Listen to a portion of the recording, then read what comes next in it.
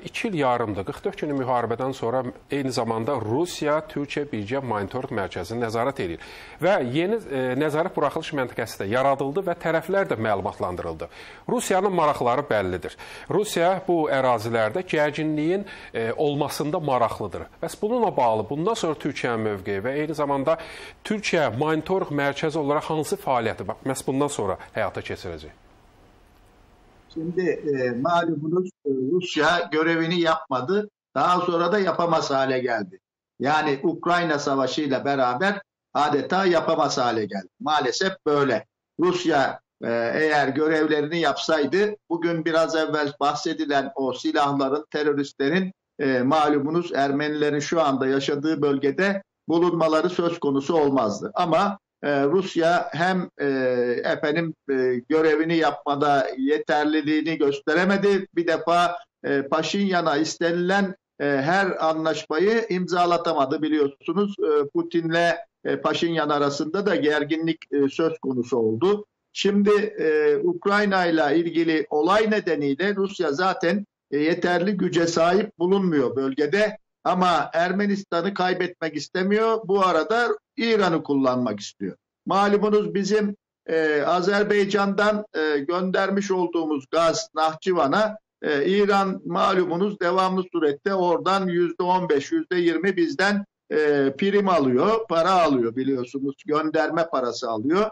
E, şimdi tabii bu e, Laçin koridoru sonucunda efendim Zengezur koridoru açıldığı takdirde İran e, bu imkanlardan e, bir şekilde kayba uğrayacak. E, Türk dünyasıyla doğrudan birleşme, Türkiye ile e, Azerbaycan arasının birleşmesi sağlanacak. E, burada tabii burada en çok rahatsız olanlardan bir tanesi Fransa'dır. Bu devamlı surette e, yani Ermenilerin devamlı surette desteklenmesi Fransa tarafından yapılır ama fazla e, Fransa'nın efendim sözlerine e, böyle önem bile vermeyin.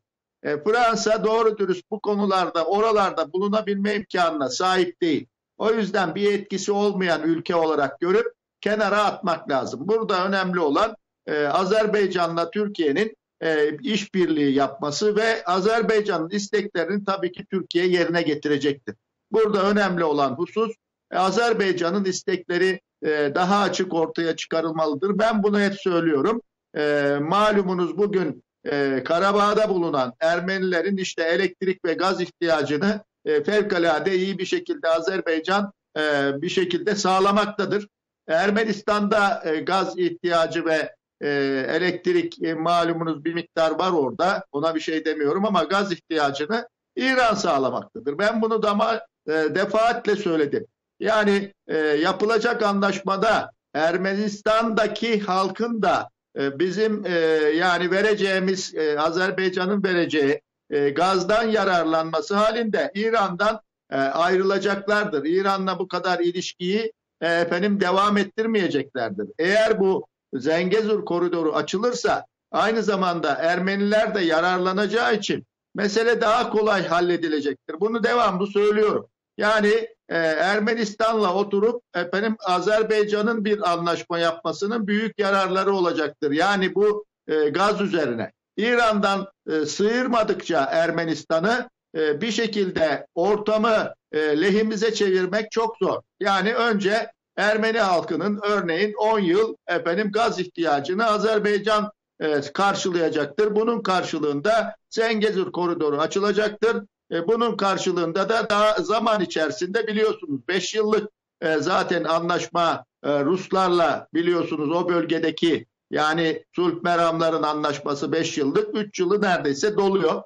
2 yıl sonra hadi güle güle dersiniz o zaman Ruslara da bu işi çok daha rahat halledersiniz. Benim görüşüm bu. Bu yani umumi bakmak lazım bu işe. Yok efendim işte Fransa Dışişleri Bakanı şunu dedi, bunu dedi. Zaten 24 Nisan günü malumunuz e, sahte olarak çıkarılmış sözde Ermeni soykırımını yaptığı Osmanlı'nın yaptığıyla ilgili Türklerin yaptığıyla ilgili e, bir gündür. E, bugün devamlı surette işte sözde soykırım e, yapılmasıyla ilgili e, sözler söylenmektedir. E, ben bunu e, açık açık söylüyorum. Türkiye en kısa zamanda efendim e, dünya uluslararası e, insan hakları mahkemesini kurmalıdır ve meclislerini yargılamalıdır. Çünkü tarihi belgelere dayanmamaktadır. Biz tarihi belgeleri tamamen çıkardık. 57 bin belgenin üzerinde yapmış olduğumuz çalışma sonucunda e, soykırımın aslında Ermeniler tarafından Türklere karşı yapıldığını aşağı yukarı 1 milyon Türk'ün maalesef Ermeniler tarafından soykırıma uğradığını hem Azerbaycan'da hem hatta biliyorsunuz Özbekistan'da e, ta oralara kadar olan e, Türkistan bölgesine kadar olan hepsini çıkardık. Dolayısıyla Ermenilerin kaçacağı bir yer kalmadı. Efendim tarihi belgeye dayanmadıkları için kendileri de kalktılar efendim bazı işte kendilerine yakın olan ülkelerde maalesef e, bir yerde e, meclislerine sözde soykırımı kabul ettirmeye kalktılar, suç işlediler. Tarihte eğer siz bir belgeye dayanmadan, tarihi belgeye dayanmadan bir karar alıyorsanız suç işliyorsunuz. İnsan haklarını çiğniyorsunuz. Türkiye bu insan hakları çiğnenmesinin üzerinde duracaktır. Benim e, daima tavsiyem bizim hükümetimize diyorum ki e, Uluslararası İnsan Hakları Mahkemesi kurunuz. E, efendim belgelere dayanmadan Türkiye'yi suçlayan, Türkleri suçlayan, Azerbaycan Türk'ünü, Özbekistan Türk'ünü, Türkiye Türk'ünü e, suçlayan, suçlayan efendim bir şekilde meclislerin mah yargılamasını yapınız. Burada Türkiye efendim işte Türkler e, soykırım yaptı diyen meclisteki milletvekillerinin efendim bir şekilde Türkiye'ye girişini yasaklayınız. Türk devletlerine girişini yasaklayınız. Bunları yapmak gerekiyor. İşte olay bu kadar basit. E, efendim Fransa öyle söylediyse Fransa'ya karşı da böyle tedbirler alacaksın.